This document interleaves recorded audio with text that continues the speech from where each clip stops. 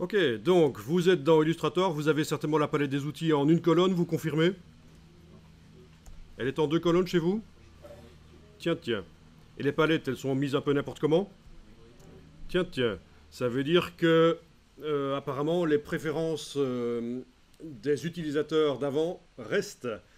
Et donc, on va remettre à zéro Illustrator, c'est quand même mieux, parce que j'aimerais que tout le monde démarre avec un Illustrator tel qu'il est la première fois qu'on l'utilise, juste après l'avoir installé. Donc, vous allez quitter Illustrator, vous allez dans le menu Illustrator, vous faites quitter Illustrator. I quit you, bastard.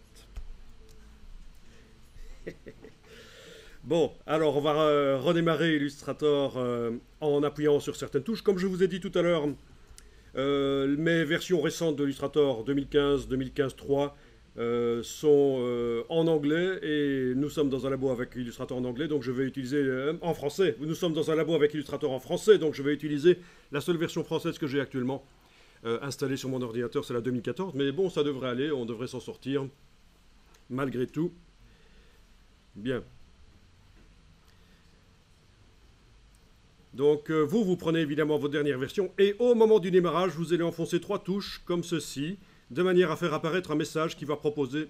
Non, il n'y a pas de message ici dans Illustrator. Mais on enfonce trois touches et dans le, panneau de démarrage, quelles touches je vais vous dire? Dans le panneau de démarrage, vous devrez voir à un certain moment mise à jour du menu des polices. Et ça veut dire qu'on a remis Illustrator dans la mesure du possible à à zéro, mais pas tout. Hein. Les palettes, euh, les positions des palettes euh, ne sont pas nécessairement remises à zéro, mais les, réglages d'outils sont remis à zéro. Bon, ben déjà, on voit qu'il y a des choses qui ont changé. Euh, c'est-à-dire que mon interface est passée de très clair, comme je l'avais réglé, à, foncé. donc l'interface telle qu'elle est, la première fois qu'on utilise Illustrator après l'avoir installé. Bon, et j'ai la palette des outils en une colonne. Est-ce que vous avez la palette des outils? Ah oui, mais vous n'avez pas encore fait le brawl. En fait, je vous ai pas dit les touches il faut au démarrage de Illustrator enfoncer trois touches pour le remettre à zéro. Euh, sur le Mac, euh, les touches euh, commande, alt, majuscule. Vous les enfoncez, vous les gardez enfoncées.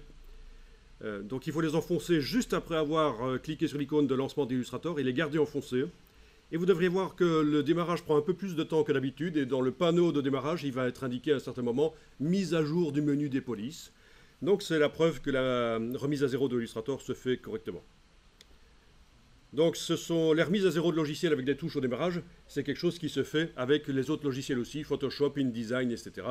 Mais ça se passe parfois un peu différemment.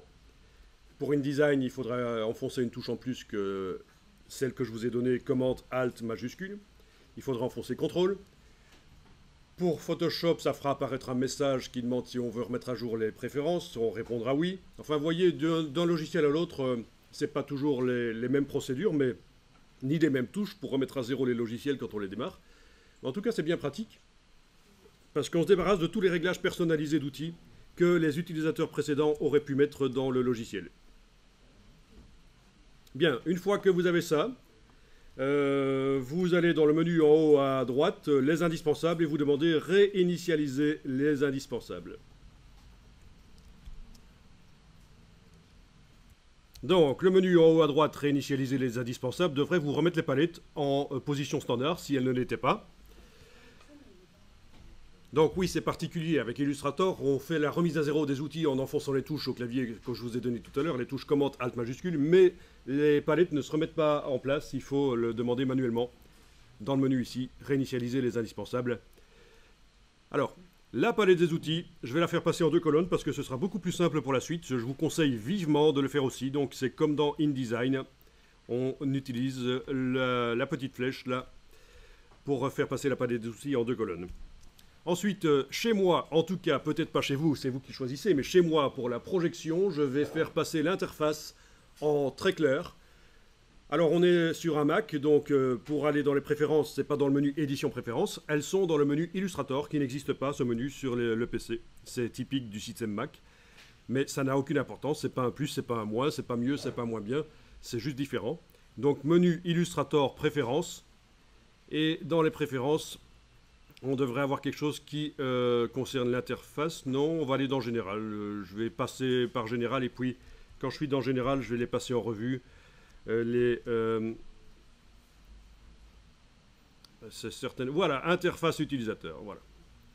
Dans les préférences interface utilisateur, si vous voulez, vous pouvez modifier l'interface de Illustrator. Je passe en très clair pour la projection. Ce sera plus clair pour ceux qui sont au fond. Je pense qu'ils verront mieux avec euh, une interface claire. Surtout si en plus je zoome comme ça. C'est la totale, c'est le pied. Vous avez bien fait de venir. C'est un des meilleurs jours de votre vie. Euh. Voilà.